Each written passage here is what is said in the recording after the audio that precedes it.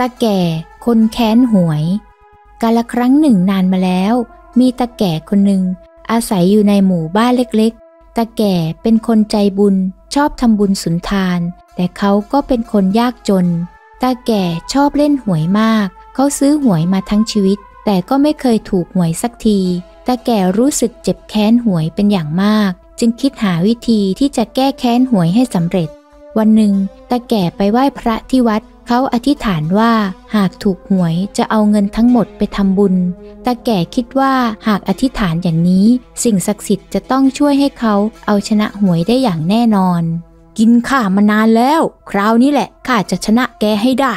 และแล้วเมื่อถึงวันหวยออกตาแก่ก็ถูกหวยรางวัลที่หนึ่ง30 ล้านบาทเขาดีใจมาก เขาคิดถึงชีวิตที่สุขสบาย ที่เขาจะมีหากได้เงินรางวัล แต่แล้วตาแก่ก็นึกถึงคำอธิษฐานที่เขาเคยบนบานไว้ เขารู้สึกเสียดายเงินขึ้นมา เพราะเขาไม่เคยมีเงินเยอะขนาดนี้มาก่อน แต่ว่าในเมื่อเขาได้บนบานไว้แล้ว เขาจึงตัดสินใจทำตามที่สัญญากับสิ่งศักดิ์สิทธิ์ไว้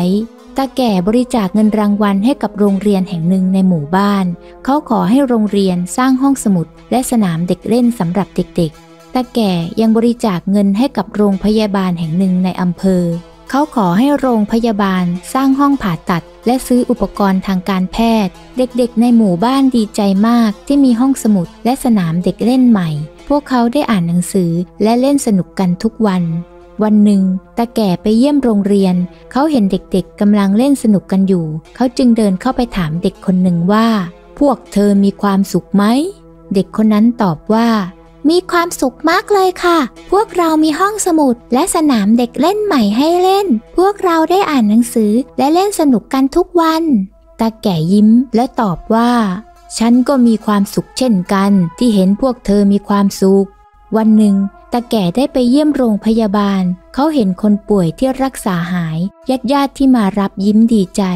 ตาแก่รู้สึกดีใจมากที่ได้ทำบุญ เขาพบว่าความสุขที่แท้จริงนั้นไม่ได้อยู่ที่เงินทอง แต่อยู่ที่การได้ทำสิ่งดีๆ ให้เกิดขึ้นในสังคม